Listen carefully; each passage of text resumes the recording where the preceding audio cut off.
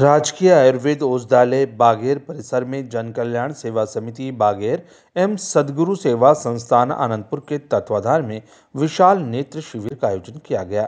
शिविर में एक सौ चौवन मरीजों की निःशुल्क जाँच की गई, जिसमें 40 रोगी मोतियाबिंद ऑपरेशन के लिए चिन्हित किए गए, जिन्हें बस द्वारा आनंदपुर भेज दिया गया, जहाँ पर उनका निःशुल्क ऑपरेशन एंबुलेंस प्रत्यारोपित कर चश्मे वितरित कर वापस बस द्वारा बागेर छोड़ दिया जाएगा। अन्य मरीजों को वितरित किए गए निःशुल्क दवाई और चश्मे के नंबर भी दिए गए। कार्यक्रम की शुरुआत में सदगुरु सेवा संस्थान झालावाड़ के ट्रस्टी मनोज शर्मा द्वारा भगवान धनवंतरी को माल्यार्पण कर द्वीप प्रज्वलित कर शिविर की शुरुआत की गई।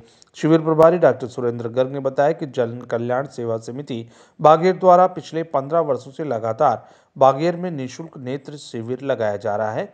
इसका खर्चा जन कल्याण सेवा समिति स्वयं वहन करती है। समिति द्वारा इक्यावनवा कैंप लगाया गया है, जिसमें एक सौ चौवन मरीजों का पंजीयन हुआ है और 40 रोगियों समिति के संयोजक अशोक कुमार कश्यप द्वारा अतिथियों को माल्यार्पण कर स्वागत किया गया।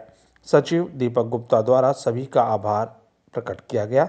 शिविर में मोहनलाल सेन, धुलीलाल भील, बालचंद नागर, कमल सेन देवी शंकर गुजर, सरपंच प्रतिनिधि राजेश कटारा, विष्णु राठौड़, सूरज प्रजापति, राजू नगर खेडली आदि ने उपस्थित रहकर अपनी सेवाएँ दी। कार्यक्रम का संचालन बलराम हाडा द्वारा किया गया।